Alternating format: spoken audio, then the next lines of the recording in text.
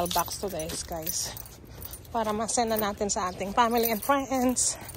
Dito. Well Guys, team playoff, I think, has been Daddy and I just got here the to the, Aces- Where are we, Daddy? UNC. UNC Hillsborough. Healthcare. Daddy's gonna have a wellness follow-up checkup niya. Yep. It's now what time? Yep. Let's go. Pasok na daw kami. We just got here. Ito. Oo nga, no? This is your patient tower, Daddy. oh. That's where you admit. the hospital. Yeah, the hospital. We're in, gonna be in this building. The medical office building. But yeah, this is where Daddy got his ano eh, surgery back in June.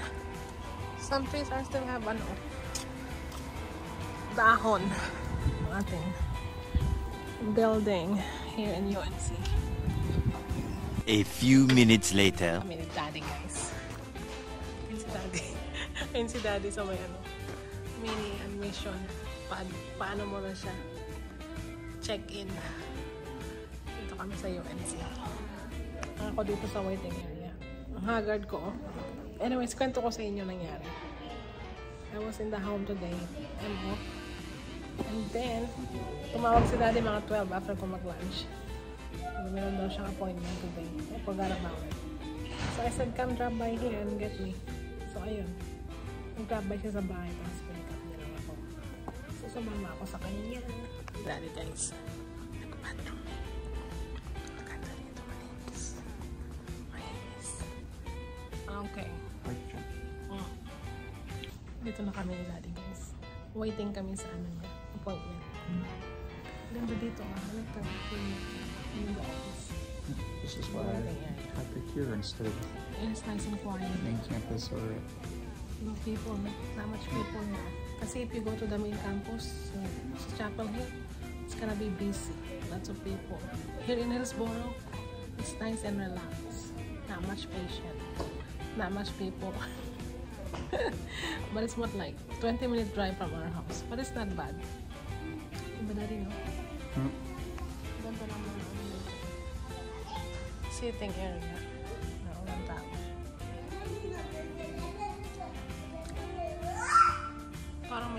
View doon. The trace pala. A few moments later. Mo si daddy.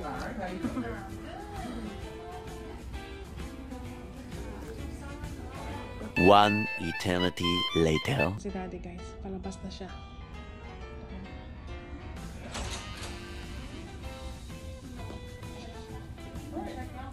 Tapos na. Tapos na si daddy. Mag-ano siya. Mag blood work daw siya. Yes. Mag blood work. Ito yung tray dito guys. Sa hospital. Pakita ko lang. Kami. Where is it? There? Right here. Magpa-blood work si daddy. Medical oncology. Waiting. Just the blood work here? Yep. Check ang kanyang blood work. No? Blood Yeah. work. Waiting here guys for the daddy's blood work. Wait pa si daddy. Guys, it's almost 2 p.m. Sana matapos na siya daddy. Matawag na siya and then alis na kami around 2. Para masundo namin si Lucas on time.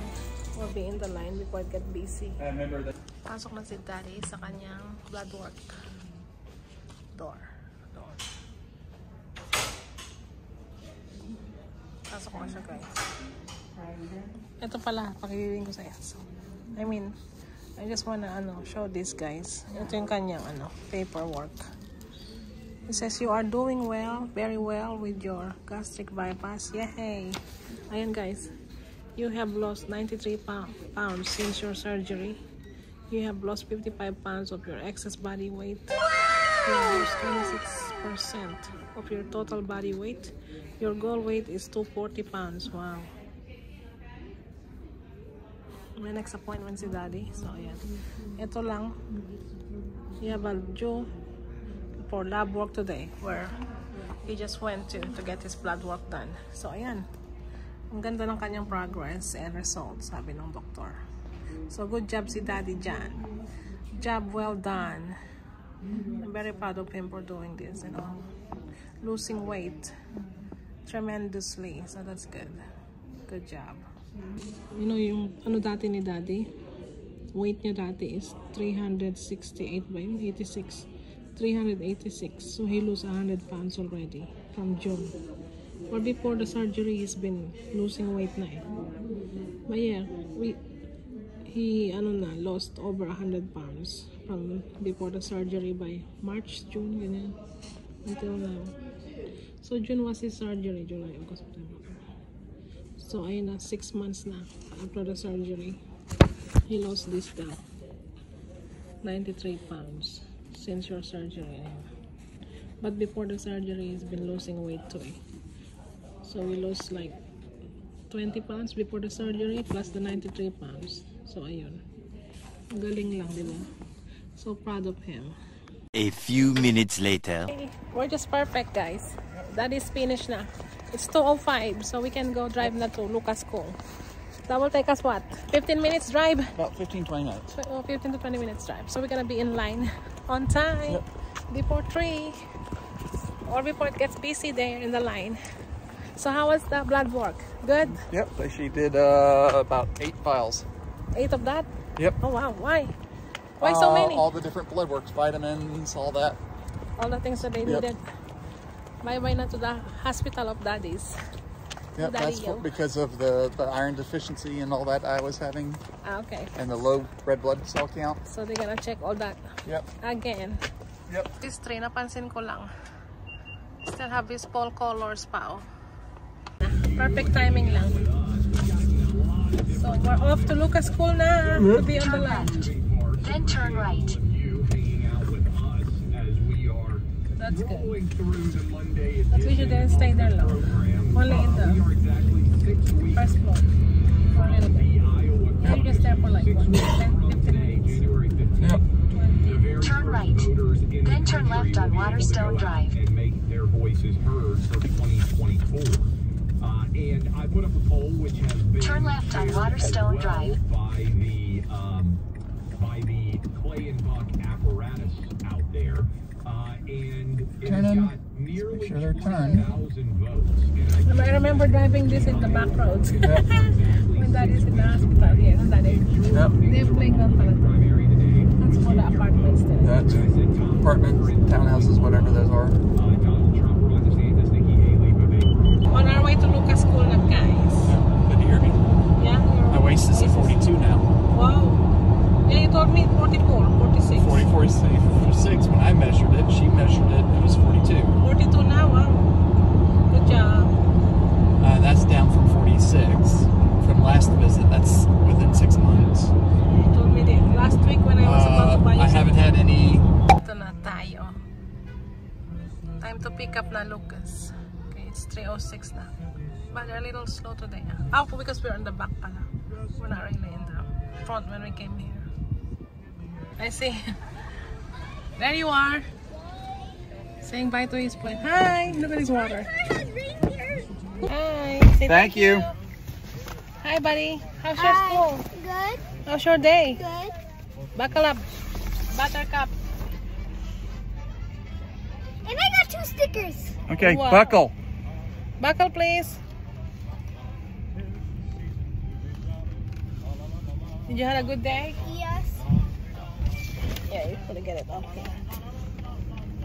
I might take this inside so I can staple this for you. Then. Remind me. Buckle up na.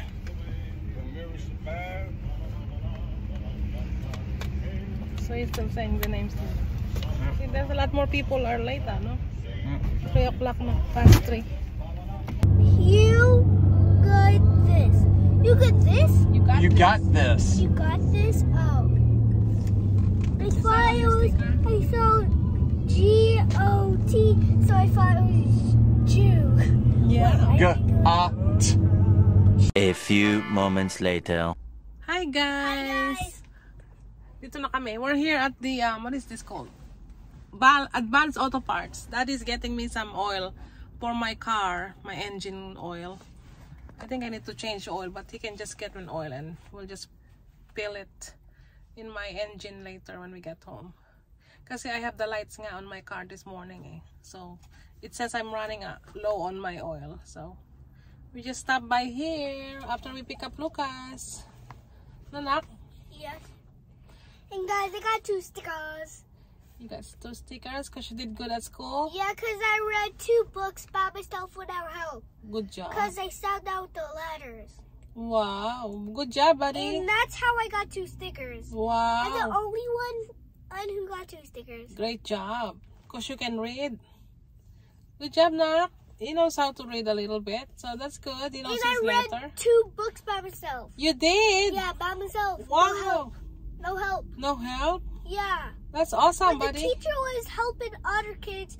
I know I knew how to read it already. Wow. Good job, Anak. Mommy's so proud of you. And the teacher's gonna bring it home um on one of the days. Uh-huh. The te- my teacher's gonna bring the books home so I can show you I read it. I can read it. Okay, that's nice. Cool. That's awesome job, buddy. Do I have school tomorrow? Yeah, until until the 16th.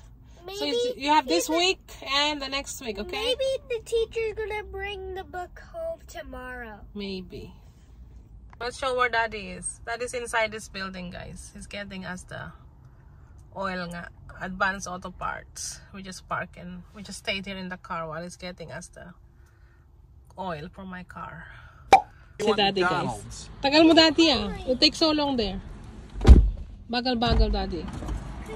Yeah, I was like, I was looking for my um keys. Your car keys not here in my bag. Oh. I think I left it in my other bag. Remind me to grab it. Dito na sa Daddy, guys. Guys, nagpump muna si Daddy. Nag-grab by kami dito sa Shell gasoline station. And then we got snack too. We got, I got some chick, chicken strips from Chick-fil-A. Lucas naman got some chicken nuggets. Nuggets. How was your And chicken fries. nuggets? Mm, fries? Is it good? And Tom I got Jones. ice cream. Tom Jones daw siya. Tom Jones din si Mami. Kaya, nag-snack muna, nag-snack muna kami. On our way home din. While daddy's pumping gas na rin. Kain tayo. Okay, tayo. They got me the 4-piece chicken strips. Hati kami ni daddy. Kaya nagutom na kami. Anong oras na ba? It's only 3.35 p.m. A few moments later. We're home na guys. Daddy's gonna put oil na in my car. Ayun na siya. Nakain pa si Lucas eh. Oh. How's your chicken? Good. You wanna go down now? Get out. Get out of the car and you can eat inside. Black chicken. Alright. Hi guys! Dito na kami sa bahay. Mag-haul sana ako yung pinamili ko kahapon sa ano, Victoria's Secret. Napakita ko na yung sweater pero yung mga lotion na binili ko hindi pa. Anyways, meron pa pala akong ipapakita sa inyo. Ito siya yung member yung dati siyang member ng ano, Backstreet Boys. Dapat pang-anim siya ng member sa Backstreet Boys. Ayan. O, di ba? Lu Hulaan niyo kung sino yan. The Who. The Who. Ano ni Daddy yan? Si Daddy yan nung bata pa siya. 1990, ano ba to? ID niya to sa ano, driver license niya sa Georgia. Expires December 15, 1997. So, 1997 pa siya, guys. Ito si Daddy. Hindi ko napakita yung info. Di ba? Membro siya ng Backstreet Boys. Pinakita ko sa kapatid ko kanina. Sabi ko, ito yung dating miyembro ng Backstreet Boys. Si Dave. Ang pangalan niya, Dave. Sa Backstreet Boys, ha? Tandaan nyo. Charot. Charot lang. Yung asawa ko yan, si Dave. During the 90s, ayan siya, oh. Hindi pa siya masyadong mataba. Nagsichabi-chabi na siya dyan, pero this is him when he was in his 20s. I think he's 25 here. So, this is 1997. Ayun. Ito na nga, mag-haul tayo guys. I-haul ko muna yung binili namin kahapon ha. Para habang tahimik, nandun sila sa kabilang kwarto. Nasa living room si Daddy tsaka si Lucas. Ito yung binili ko kahapon ng lotion. I think tatlong lotion. Isang coconut passion and velvet petals. Tapos yung isa yung aqua kiss na lotion. So, bali tatlo yung nabili natin na lotion. Ayan, ang gaganda nila. Ang gaganda ng container nila, oh, yung packaging. Ayan, so tatlo nito. They're on sale for $6.95. $6.95 sila kahapon guys. So nakabili rin tayo ng mga spray mist. Isang Amber Romance, Aqua Kiss. Tapos meron din, ah dalawa yung Amber Romance ko. Mabango kasi ito guys. I like this one. So dalawa yung nabili natin Amber. And Velvet Petals. Ayan. So apat na spray mist yung nabili natin. And yun nga, yung tatlong lotion. Hinol ko na ngayon. Ito nabili ko for $6.95 isa. So, yun lang. Para meron tayong ano, haul. Kasi pag winter dito, maano eh. Dry yung skin. Maganda to siya, oh. Fragrance lotion. Perfume. Perfume lotion siya. Ang babango pa. I like this petal. The velvet petal. It's really nice. Tsaka yung Amber Romance din. Ang babango. So, ayun. Ito yung nabili namin ni Lucas kahapon ha, while they're on sale for $6.95. Kasi they usually, ano eh, $19.95. $19.95 ang isa. So, it's almost $20 isa, di ba? So, kahapon, they're almost, ano, $7. So, ayun lang. Hinol ko lang na mabilis. Kasi nakalimutan ko siyang isali sa last vlog ko eh. So, ito yung aming weekend shopping after ng Walmart kahapon. Ayan na, ang talagang new bag. Wala pang Christmas din. Christmas pan. Pakita ko na sa inyo yung mga nabalot natin na pang giveaway sa Christmas party. Giveaway kung hindi ko pa na-mention sa inyo, i-mention ko na dito sa vlog na to. Kasi um, this year, this time, for our annual Christmas party, I think this is our year 3 or year 4 now with my friends. Sila Nice and Desiree. This is gonna be our year 4, I think. Uh, but this time, kasi usually, doon namin ginaganap sa bahay ni Nice. And then after that, 2 years ago din, or 3 years, doon kami kala Desiree. So, na, na ano na namin, na-celebrate na namin sa house ni Desiree, ng twice or three. And then kay Nice din last year and the year before. So, this time, napag-usapan na namin na dito na ulit. Dito sa bahay namin gagawin yung Christmas party this time, this year. So, eto na siya guys. I've been busy um, doing this while I'm folding and all after I fold. Ayan. I wrapped some of the giveaways na ipamimigay natin sa games, sa Christmas games.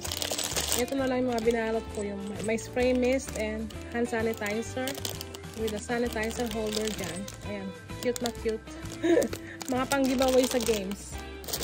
Ito pa, may mga hand soap and mga hand sanitizer and yung lalagyan. O diba, ang cute? Ito na lang pamimigay natin sa kanila pang giveaway sa, sa Christmas party ba. Ayan. So, nakagawa tayo ng 9, I think. 1, 2, 3, 4. Ito naman may candles. Dalawa yung may candles and hand soap. Ayan. Ganda diba? Ang cute lang.